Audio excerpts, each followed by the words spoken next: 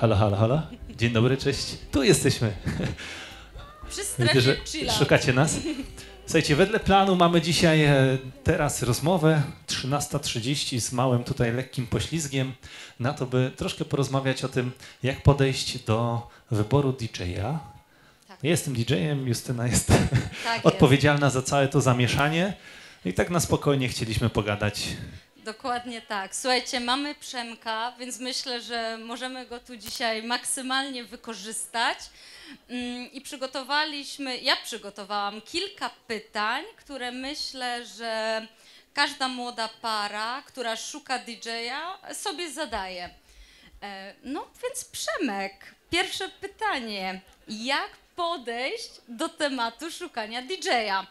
Na co zwrócić uwagę, co jest istotne, jak w ogóle to zrobić? Co, spisujesz w Google i co? Pierwszy, który wyskoczy jest najlepszy? Okej, pom- po- pomijam. Znaczy, najlepiej byłoby być na weselu, na którym był dany DJ, natomiast to też, e, to też nie znaczy, że jeśli on był na danym weselu i w ten sposób zagrał, to na innym weselu zagra tak samo, bo bardzo często zdarza się tak, że DJ dostosowuje się do konkretnych ludzi, do konkretnego wesela i może się zdarzyć tak, że no, tu jesteśmy na alternatywnych targach, także podejrzewam, że część osób będzie chciało wesele z mniejszą ilością disco polo. Czasami może się okazać tak, że będąc na weselu, na którym jesteśmy, e, DJ dostosowuje się na tyle do gości, no, że po prostu te klimaty gra. Jeśli chcielibyście troszkę, e, troszkę inne klimaty, to warto się też go zapytać. Ale moim zdaniem właśnie najważniejsze jest, by wiedzieć, jaki styl ma dana osoba. Bo właśnie są tacy DJ-e, którzy mają styl, gdy dopasowują się do ciebie, czyli do pary młodej. Są tacy DJ-e, którzy praktycznie w ogóle się nie dopasowują. Można ich nazwać jako taki McDonald. Ma jeden sprawdzony styl, sposób na robienie wesela. Najczęściej bardzo e, ciężko jest zmienić tutaj nawet playlistę, bardzo ciężko jest zmienić nawet zabawy. No i w tym momencie taki DJ, pomimo tego, że ma super e, wypracowany sposób i super wypracowany styl, no do jednych będzie się sprawdzał, a do innych niekoniecznie. No i jest jeszcze e, jakby trzeci typ DJ-ów. E, to jest taki DJ, który jest w stanie się dostosować. E, Po części ma coś wypracowane swojego, ale z drugiej strony jest w stanie się dostosować też do pary młodej, czyli do tych powiedzmy wymagań, do tego, co para młoda chce. Także myślę, że tutaj jest kwestia w pierwszej kolejności zdania sobie sprawy z tego, co my sami chcemy, czego oczekujemy, jakie chcemy, by nasze wesele było. Podejrzewam, że u ciebie jest podobnie, że często też pary przychodzą i wpierw musisz wieloma pytaniami dochodzić do tego. Dokładnie, tak. Musimy wyczuć, czego tak naprawdę para potrzebuje, tak? Tak jak właśnie mówisz, czy ktoś chce bardziej klasyczną uroczystość, e, czy powiedzmy bardziej nowoczesną, gdzie ten styl, klimat już jest powiedzmy całkiem, całkiem inny. No i właśnie wtedy też szukamy e, totalnie innych usługodawców, nie? Więc e, pod kątem DJ-a też te wymagania są później już całkiem inne, nie? Okej. I to jest w zasadzie po, taki podział na osoby, które mm, się dostosowują, tak? czyli mm, takie flexible, które są elastyczne, na osoby, które mają coś sprawdzonego i bardzo często, no, tak jak bierzemy DJ-a, tak on będzie grał i w zasadzie to, e, to co on sobą reprezentuje, czy też to, co ma do pokazania, to tak będzie. No i e, trzecia grupa to są ci DJ-e te te osoby, które praktycznie robią wszystko to, co para młoda chce. Nie będę też mówił z imienia, nazwiska, ale mam takiego znajomego, który no, praktycznie podchodzi do tego tematu, ok, para moda to są moi klienci, jak oni chcą, tak jakbym był malarzem, jak oni chcą mieć pomalowane na zielono z różowym, no to tak po prostu będzie. Tak samo podchodzę do wesela.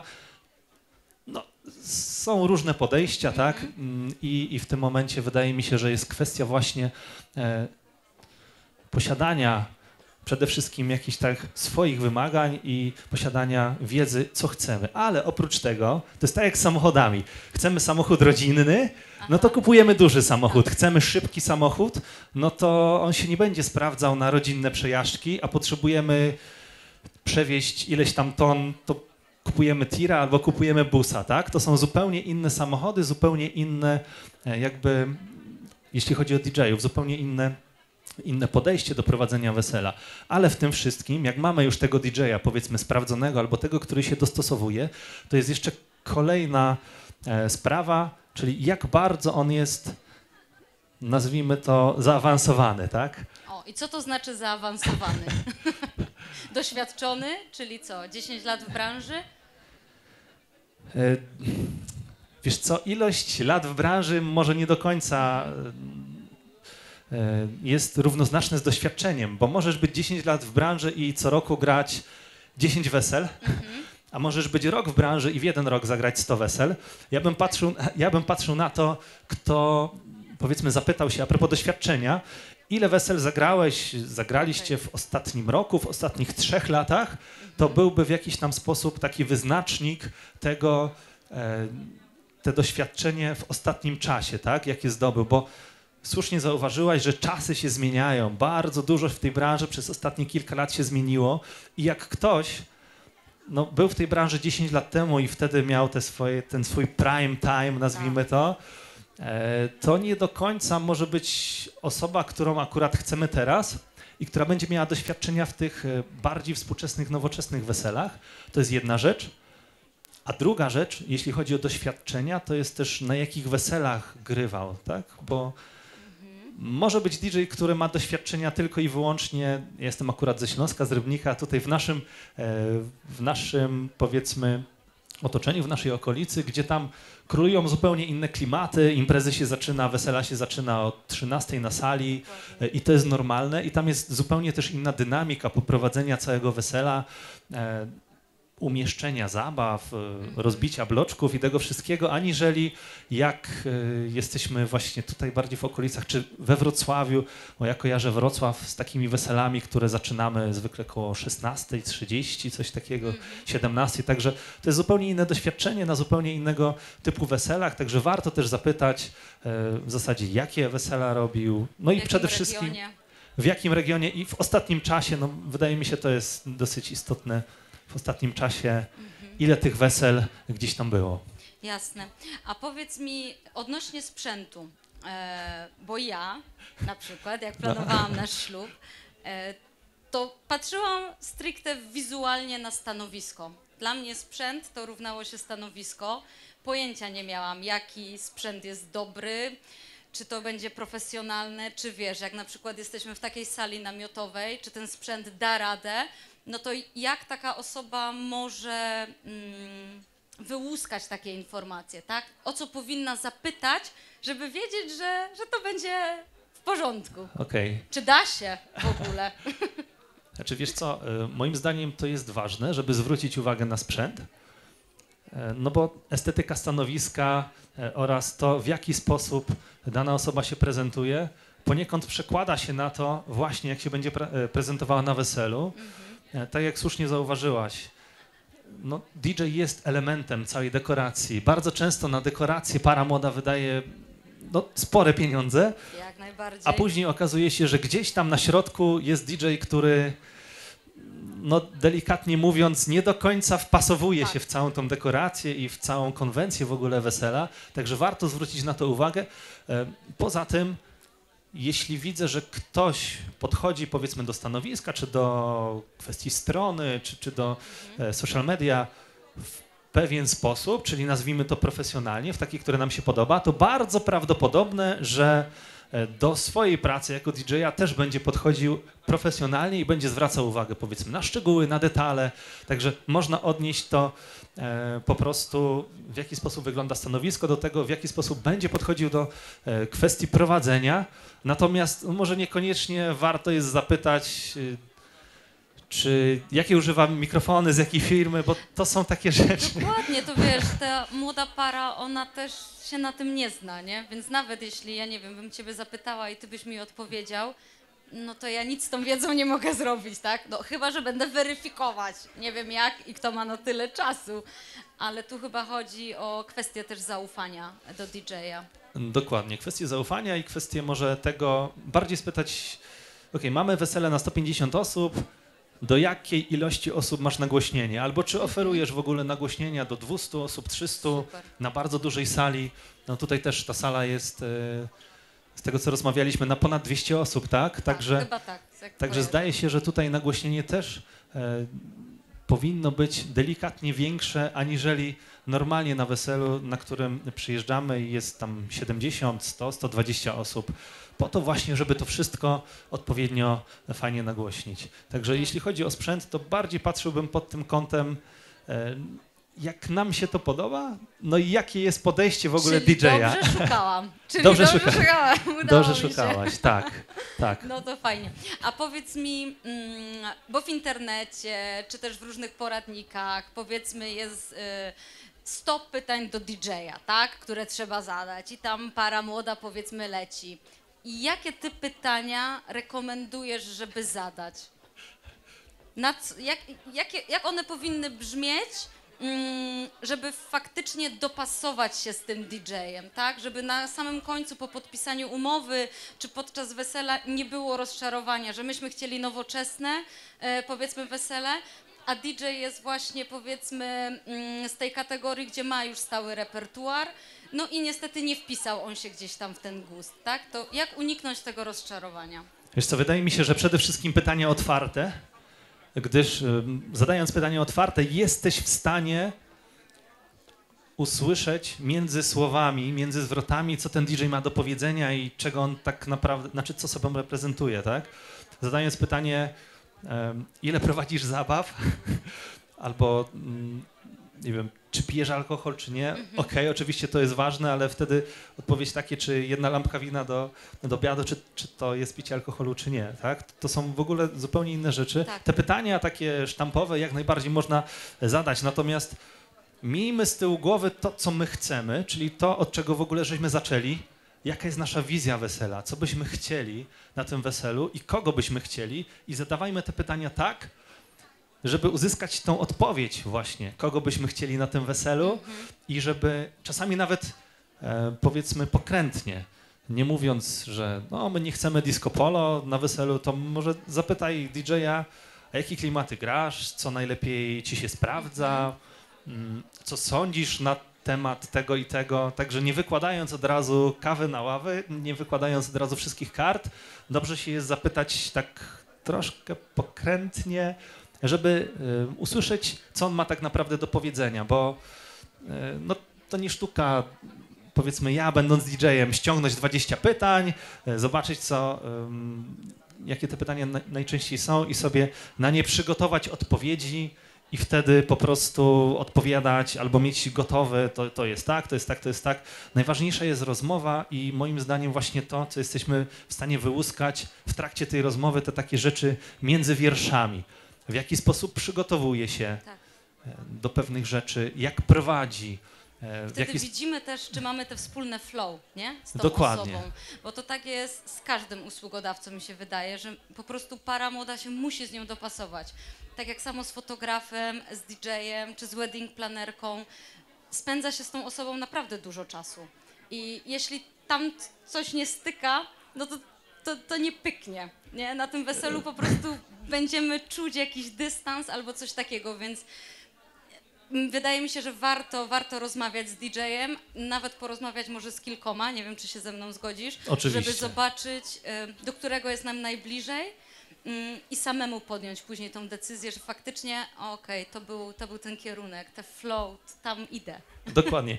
E, Tym bardziej właśnie teraz sobie tak pomyślałem, na weselu tak naprawdę para młoda praktycznie w ogóle nie ma kontaktu z usługodawcami, e, no bo są zajęci sobą, są zajęci weselem, a w zasadzie powinni być zajęci sobą, a nie e, kontaktem Tak. z wedding planerką, czy tam z DJ-em, czy z kimkolwiek innym.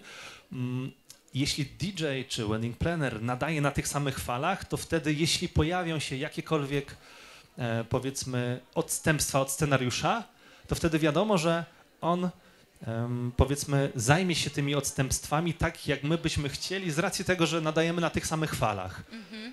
okej. Wydaje mi się, że to też jest ważne. Tak, E, No i tu jest też kwestia doświadczenia. Jak ktoś ma nikłe doświadczenie, no to wtedy no nie jest w stanie inaczej. No jak zrobiłem powiedzmy tam 300-500 wesel, to jestem w stanie w każdej sytuacji się odnaleźć. Jak zrobiłem 30 wesel, no to może niekoniecznie jestem w stanie w każdej sytuacji się odnaleźć. Także No, tu jest pewnie. właśnie rola tego doświadczenia tak.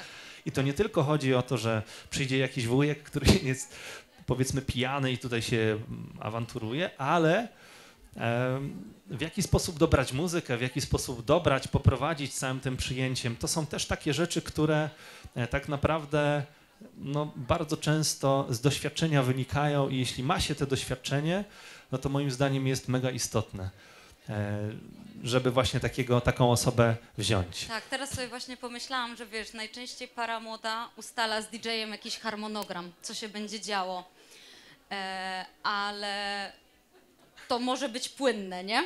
To, to nie jest tak, że... Jeśli... To jest zawsze płynne. Nie? Właśnie, bo, bo później może być gdzieś tam stres, że na przykład, nie wiem, o 15 miało być coś tam, a nie wiem, zabawa się przedłużyła na parkiecie, dobra, fajna muzyka, klimat był, mm, więc jakby wydaje mi się, że właśnie po to trzeba znaleźć tego dobrego DJ-a, e, dopasowanego do siebie, żeby mu na tyle zaufać, że cały ten scenariusz e, przejdzie po naszej myśli, ale może w troszeczkę innej formie, lepszej, do bardziej dopasowanej. Okej, okay, to, to, jest racja. E, też jest jedna, jedna taka rzecz poniekąd, bo teraz mówimy DJ-a, e, ale poniekąd DJ moim zdaniem też jest prowadzącym i tak naprawdę koordynatorem po części całego tego wesela i tego, co się dzieje. Podam taki przykład. No, są lokale, w których wszystko idzie od linijki, ale są lokale takie, że o 20 idę się zapytać, czy rzeczywiście ta kolacja jest o 21. Panie mówią, że tak. Przychodzę, zaczynam bloczek muzyczny, który miał trwać tam godzinę. E, przychodzę o 20.30 i okazuje się, że no, tam dziewczyny mają obsługę, nie zdążyły zebrać wszystkiego.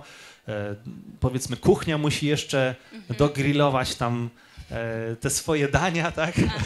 No i nagle się okazuje, że mamy, że mamy tam jakiś, e, tak naprawdę jakąś obsługę, no i potem spada na nas ta decyzja, czy my e, robimy dwa bloczki, czy my robimy jeden bloczek, czy tak, tak. naprawdę rozbijamy te półtorej godziny, bo nie o 21, ale o 20.30 to wszystko się będzie zaczynało, czy rozbijamy to e, na dwie części. No i właśnie wtedy ten DJ, jako ta osoba, która odpowiada za całą dynamikę e, tego wesela, musi podejmować te decyzje. Chociaż zdaje się, że są też takie osoby, tu wracamy do tego pierwszego pytania, z kim chcemy współpracować, która tylko gra.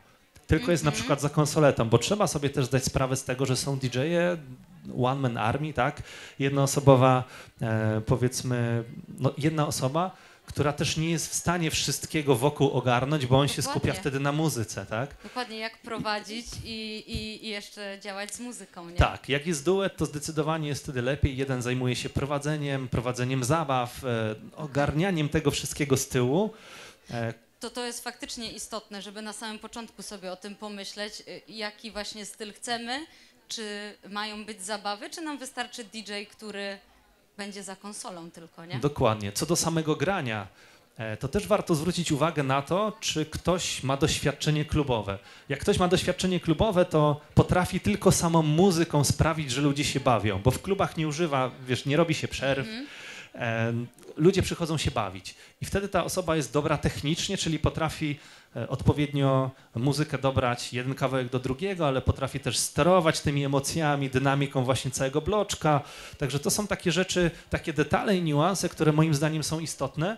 E, nie mówię, że osoby, które nie grają w klubach tego nie mają, ale bardzo często tak jest. Mhm. Czyli jak ktoś ma doświadczenie klubowe, to jest praktycznie pewnik, że on będzie potrafił grać dobrze muzykę. Okay. Czyli warto na to gdzieś e, zwrócić, zwrócić uwagę. uwagę. Pewnie, to myślę, że to jest cenna rada. Czyli co, tak naprawdę swoja wizja? Przede wszystkim. I rozmowa. No, czyli sprowadza się to wszystko do tego, musicie wiedzieć, czego chcecie. Jak ze wszystkim.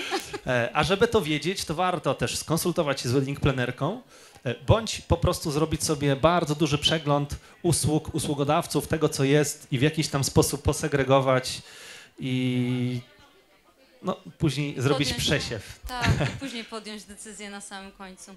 Super. Czy jeszcze chciałbyś coś dodać od siebie? Wiesz co, myślę, że tutaj moglibyśmy rozmawiać naprawdę godzinami, e, bo wesela to jest taki konik, gdzie podejrzewam i ty i ja, jakbyśmy siedli, to e, do wieczora rozmawiamy. Natomiast to są chyba takie najważniejsze, najbardziej istotne rzeczy, czyli musicie wiedzieć, kogo, mm, kogo tak naprawdę chcecie.